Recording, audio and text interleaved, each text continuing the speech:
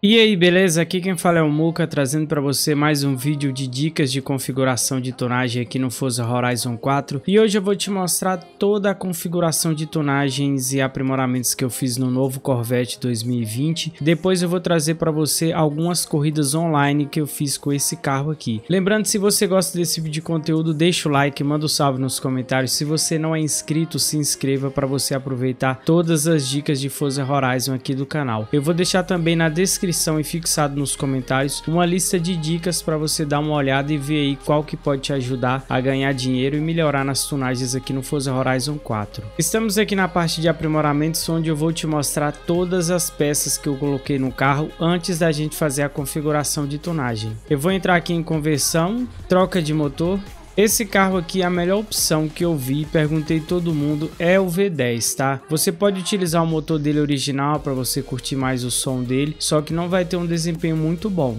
Então meu foco aqui vai ser ganhar corridas no modo online e fazer modo campanha. O modo campanha você pode até fazer com o motor original que dá, né? Mas o modo competitivo eu recomendo o V10. Troca de conjunto de transmissão. Quem é velho no canal sabe que desde o Forza Horizon 2 tem que utilizar tração nas quatro rodas para corrida aspiração original. Aqui na aerodinâmica e aparência, você está vendo aqui que eu vou ter que utilizar o aerofólio do Forza. Você pode fazer o teste utilizando o aerofólio original, só que ele vai perder um pouco de manobra, aí você vai ter que ter uma experiência um pouco melhor. Mas o pessoal disse que não ficou tão ruim com o aerofólio original não, tá? Eu vou deixar porque eu vi que a melhor opção é com. A gente tem uma melhor um pouco mais ainda. Você está vendo ali que a manobra aumenta mais um pouco. Mas se você quiser deixar com aerofólio original, fica a seu critério aí. Faça faça alguns testes, tá? Eu vou deixar o aerofólio do Forza porque eu não percebi que ficou tão ruim assim não, tá parecendo um carro GT mesmo de corrida, não ficou tão é, exagerado, né? Lógico que o aerofólio do Forza não é bonito também não, mas né, a melhor opção que a gente tem no momento. Pneus e aros, composto de pneus, você tá vendo aqui que eu tô utilizando o pneu de rally, tá? Porque ele não deixa o carro com a aderência muito baixa, a aderência dele fica legal, inclusive esse carro aqui com esse pneu, ele é um carro ok no inverno, é um carro ótimo nas outras estações, tá? Só no inverno que você tem que ter mais cuidado. O Cayman 2015 ainda é o melhor, na minha opinião, em questão de manobra. Largura de pneu dianteiro não, largura de pneu traseiro no máximo. Estilo de aro, o estilo de aro eu coloquei essa última opção aqui. Você pode colocar qualquer roda que tem o mesmo peso desse modelo da Momo que eu estou utilizando aqui, tá? Tamanho do aro dianteiro e traseiro tudo original, largura de pista dianteira original, largura de pista traseira eu coloquei no máximo. Conjunto de transmissão, embreagem original, transmissão original, linha de transmissão de corrida, diferencial sempre de corrida, plataforma e controle, freios originais, molas e amortecedores de corrida, barra estabilizadora dianteira e barra traseira de corrida, tá? Sem reforço no chassi, não tem. Redução de peso eu coloquei no máximo aqui, redução de peso de corrida. Ele ficou um carro com um peso muito interessante para a classe A e a potência dele tá muito boa. Quando você tem esse conjunto de potência acima dos 500 de potência e na casa dos 1.300 quilos, já é um carro bom, tá? Ainda mais com essa manobra que ele tá tendo aqui, tá com 8,5 de manobra. GL, ele não tá com tanta GL não, ele tá bem no limite do aceitável, mas o carro ele veio com a manobra legal ainda, eu acho que é porque o motor dele é central, tá? Então essa combinação aqui ficou muito boa. Essa combinação aqui principalmente acima dos 500 de potência e 1.300 quilos, né? Motor, entrada, admissão de corrida, coletor de admissão de corrida, sistema de combustível de corrida, ignição de corrida, escapamento de corrida, válvulas de corrida, cilindrada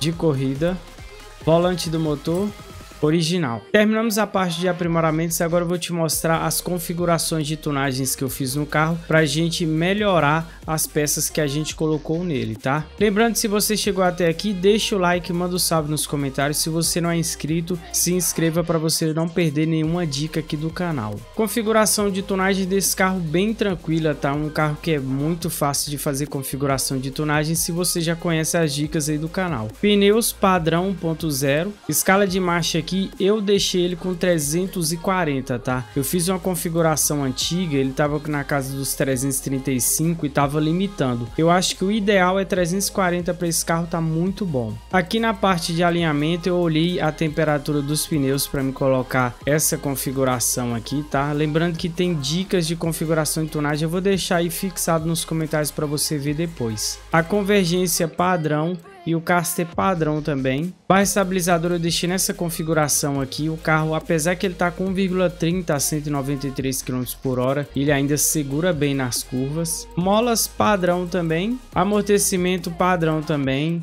A aerodinâmica eu deixei ela na mínima, tá? Esse carro aqui, ele é muito bom de aderência, então eu deixei no mínimo aqui para ele ter mais velocidade final, tá? Se você tá tendo dificuldade, você pode aumentar aqui. Freios como é original, né? Não dá pra gente mudar nada. Aqui na parte de diferencial padrão, ele tá andando muito bem com essa configuração aqui. Show de bola, terminamos a configuração de tonagem e aprimoramentos. Agora eu vou trazer algumas corridas que eu fiz com esse carro. Lembrando, não se esqueça de deixar o like, manda um salve nos comentários. Se você não é inscrito, se inscreva no canal. Bora, bora, bora. Nível... Olha, eu tô no nível 8, cara. Deixa eu ver, tá cheio de corvetão na sala. Bora, bora, bora, bora, bora.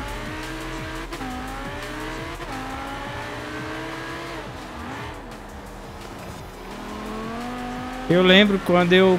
É, a primeiro vídeo que eu pus no canal... Foi um amigo meu que perguntou pra mim é, sobre fazer curvas, né? Acho que esse vídeo tá lá no canal ainda. Tá no canal ainda. Aí, Muca, não, você tem que ter como você gravar, não? E mandar pra mim. Aí eu gravei você nesse canal meu. Aí quando eu mandei pra ele, ele falou, Muca, você mandou só pra mim ou você mandou pra um monte de gente? Eu falei, eu mandei só pra você. Ele não olha lá pra você ver. Aí tava umas. Tava umas 300 visualizações. Eu falei, caraca, velho. Aí eu testei, né? Postei outra dica. O pessoal me perguntava outra coisa. Eu fui postando e a comunidade foi crescendo. Aí como eu jogo todos os dias, né? Eu jogo de segunda a sexta à noite. Sempre joguei, desde o Top Gear. Aí os cara falou, Muca, no Xbox tem um aplicativo aí para fazer live. Por que, que você não faz live? Aí eu comecei a fazer live.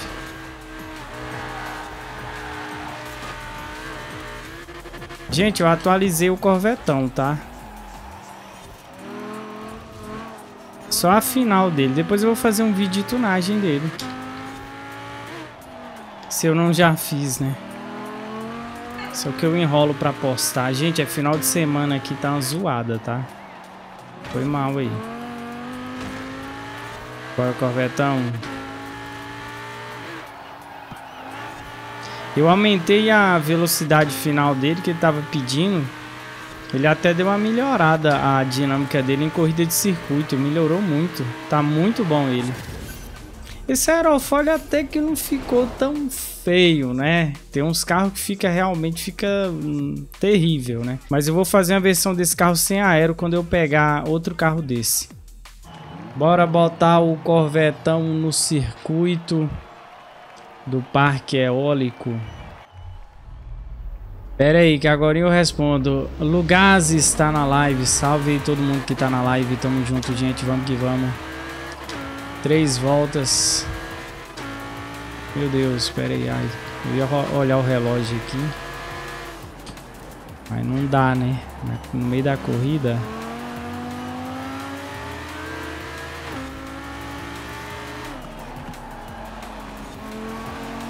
Eita, 4C ali saindo de traseiro igual.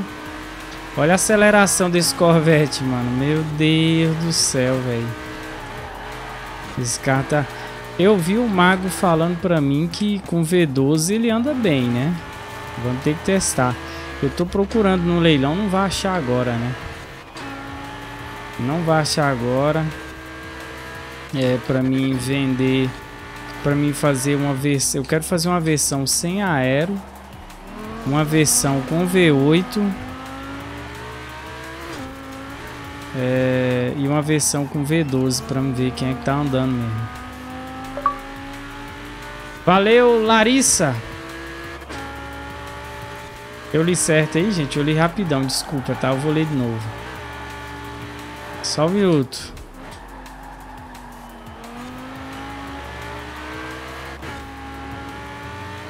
Meu Deus, esse carro é bom demais. Mano, virei 40 a 0, velho. Errando, lendo o chat. O carro é bom demais. Milagre, né? Um carro chegar no Forza assim, andar bem. Não é um ATS, né? Mas... Ele anda bem demais. Será que ele anda mais que o 2009? 2009 é God também, né?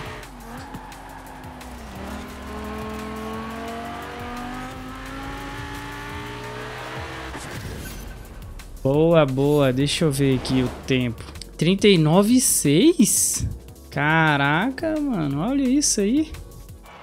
Gente, cabe dois players na sala, tá? Cabe mais dois. Só um minutinho que eu respondo o chat aí. Brigadão, brigadão. Obrigado pelo boost. Ó, oh, o Dallas tá na sala. Dallas.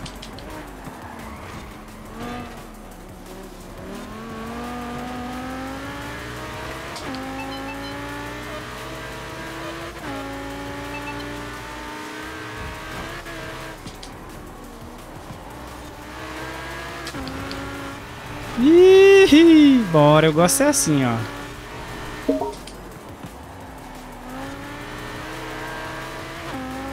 É a quebradeira.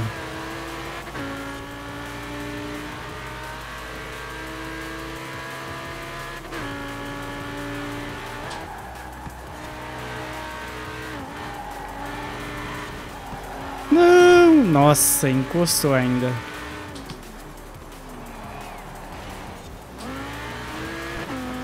Nossa, mano, como é que eu erro essa curva?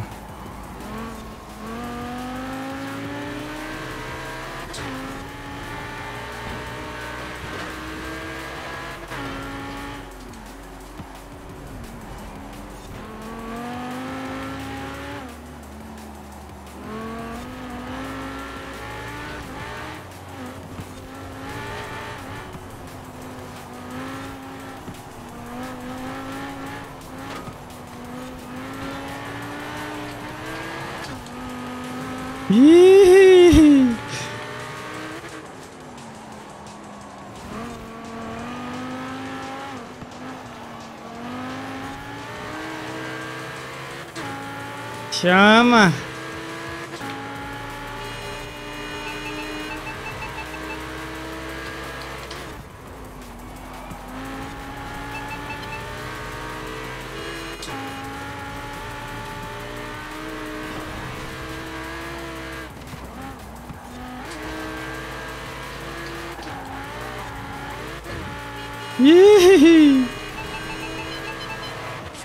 Rapaz, essa sala aqui tá o crime. Pessoal, tá valendo a vida aqui, ó.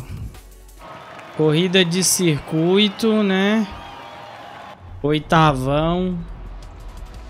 Bora, gente. Tá parecendo corrida de rua, né? Até que ele tá bonito aqui, né? No escuro.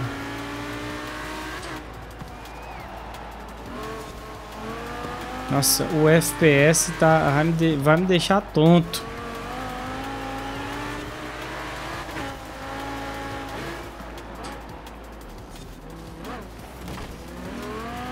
Opa.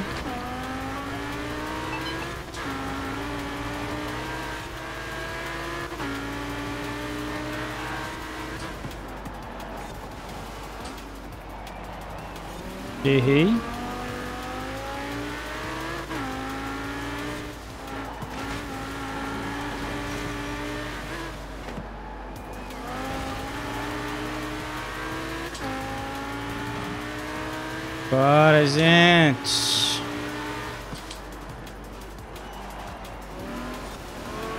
Nossa, freio demais ali.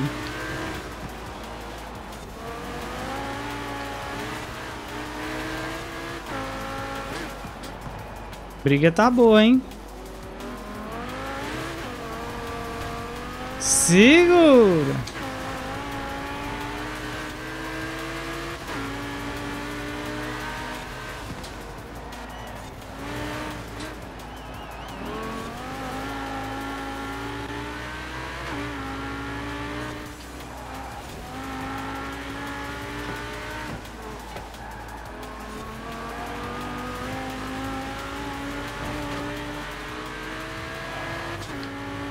Quarenta e oito, oito. Tá na chuva, né? Dava pra fazer mais baixo. Chuva não, pista molhada.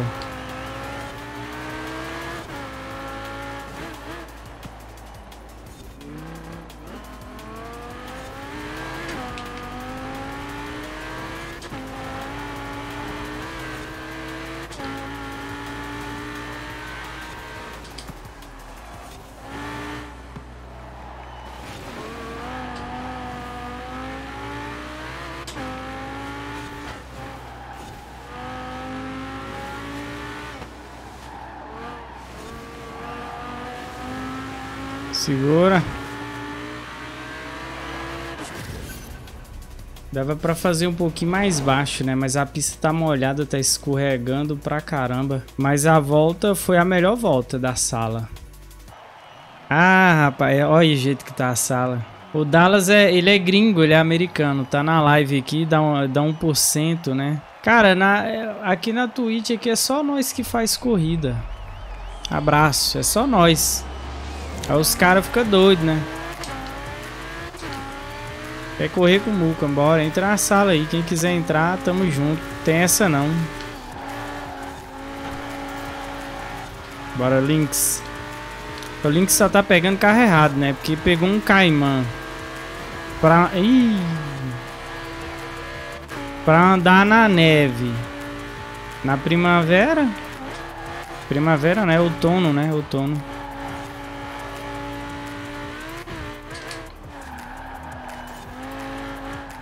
Bora que o Knight...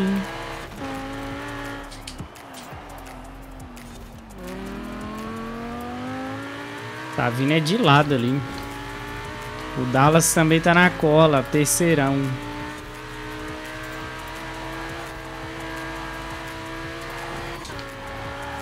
Bora, bora, bora, bora.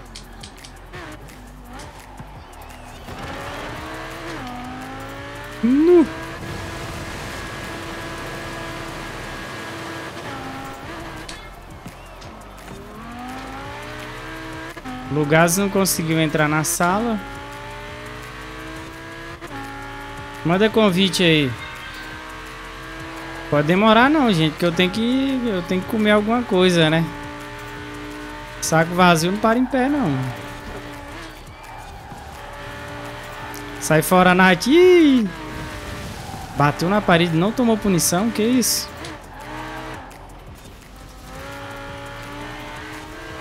Nossa. Sai pra lá, miséria.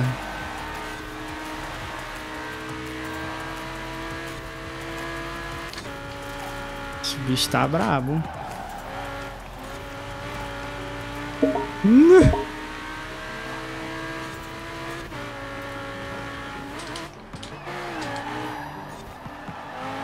Erra não, Muca. Nossa senhora. Essas corridas aqui tá... Meu irmão. Tá valendo o que, gente? Eu não tô sabendo ainda. O que, que tá valendo essas corridas aqui, não.